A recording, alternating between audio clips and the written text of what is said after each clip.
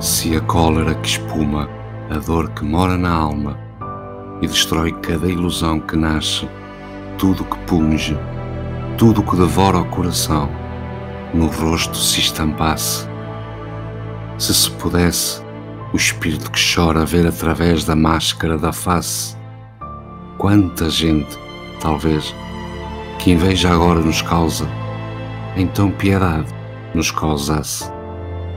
Quanta gente que ri, talvez, consigo guarda um atroz recôndito inimigo, como invisível chaga cancerosa. Quanta gente que ri, talvez existe, cuja aventura única consiste em parecer aos outros venturosa.